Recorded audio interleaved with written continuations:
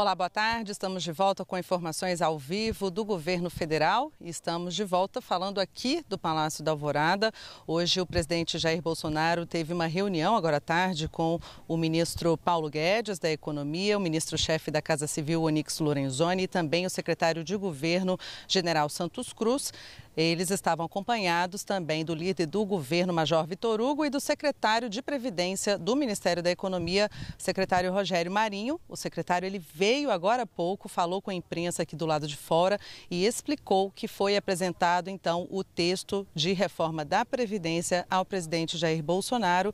E aí ele trouxe alguns pontos do que poderia já ser adiantado à imprensa antes dessa apresentação oficial que será na semana que vem, no dia 20 de fevereiro. Vamos ouvir o secretário secretário?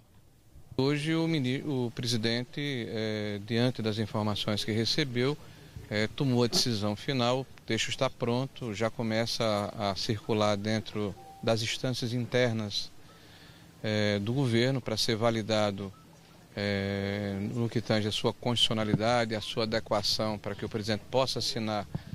E a ideia é que ele assine esse texto na quarta-feira, dia 20 de fevereiro. Né? Essa é a nossa ideia original.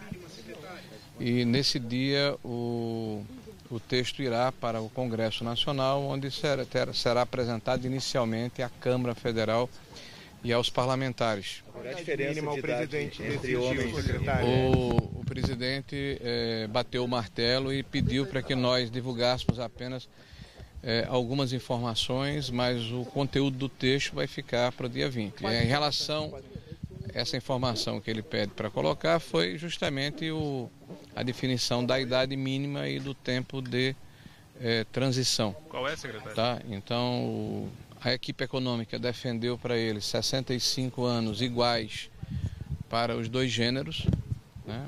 o, e uma transição é, de 10 anos. Né? Essa era a ideia da equipe e após uma negociação com o presidente, o resultado é 65 para homens, 62 para mulher, para mulheres, né? E uma transição é, de 12 anos. Olha, eu não sei se é possível ouvir daí. A gente está acompanhando agora, neste momento, aqui no Palácio da Alvorada, a troca da bandeira. Isso acontece todos os dias às 6 horas da tarde, como vocês podem ver. E, enfim, a gente que não vem todos os dias fazer a cobertura aqui da agenda do presidente Jair Bolsonaro ao Palácio da Alvorada não é comum, todos os dias nós acompanhamos isso aqui. Agora, voltando a falar do nosso assunto, a reforma da Previdência, repetindo o que o secretário já falou, uh, o texto será divulgado então no dia 20 de fevereiro. Ele será, uh, os detalhes serão então apresentados. A proposta do governo era de que fosse a aposentadoria, a idade igual para homens e mulheres de 65 anos e um período de transição de 10 anos. E a proposta do presidente Jair Bolsonaro é, é uma proposta de 65 anos para homem, 62 para mulheres e a transição um pouquinho maior de 12 anos. Então, a, é, o presidente deve fazer na semana que vem um pronunciamento à nação explicando essa proposta de reforma da Previdência. Agora a gente sai daqui de Brasília, da pauta aqui de reforma da Previdência e vamos ao Paraná conversar com a Márcia Fernandes, porque ela está acompanhando uma série de fiscalizações da ANEEL.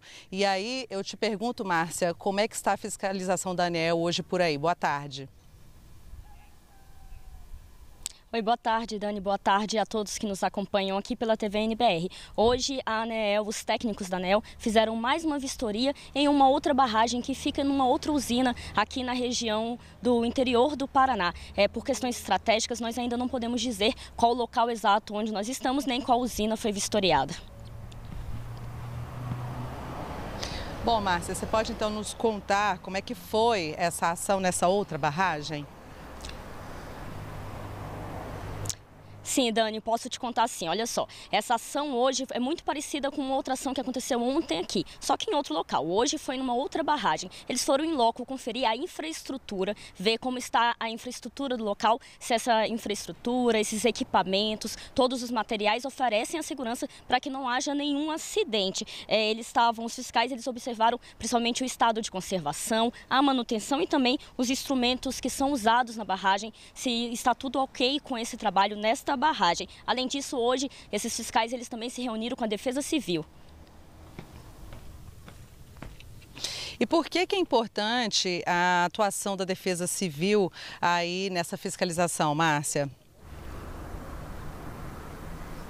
Olha, Dani, a, a, ação da Defesa Civil em qualquer situação de emergência é essencial, ela é fundamental. Nós conseguimos ver isso, acompanhar isso muito bem, infelizmente, nessa situação que ocorreu em Brumadinho, que a Defesa Civil teve um trabalho tão importante, assim como o Corpo de Bombeiros. Então, mais a Defesa Civil, esse trabalho deles tem que começar antes, na prevenção. E aí, a Defesa Civil, é, representantes da Defesa Civil se reuniram com a ANEEL e com representantes da empresa responsável pela usina e conversaram, afinaram os ponteiros para decidir formas é, como melhorar essa segurança ainda mais. O local já é bem seguro, mas quais outras ações podem ser tomadas para que essa segurança seja ainda mais reforçada? E conseguiram afinar esse processo. Além disso, a Defesa Civil ficou mais é, inteirada, soube melhor, teve mais conhecimento sobre todos os processos da barragem. Com isso, se houver alguma situação, esperamos que não ocorra, a Defesa Civil vai poder agir mais rápido, porque conhece melhor a situação. E olha, Dani, eu vou seguir por aqui pelo Paraná. Essa, essa fiscalização,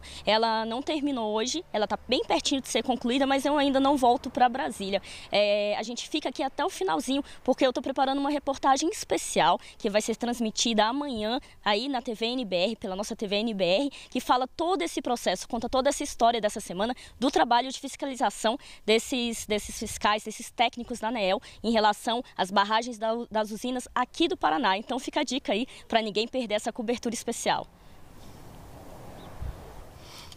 Obrigada, Márcia, pelas suas informações e a gente vai sim acompanhar esse seu trabalho durante essa semana no Paraná. E você continua com a gente aqui na TV NBR, a TV do Governo Federal.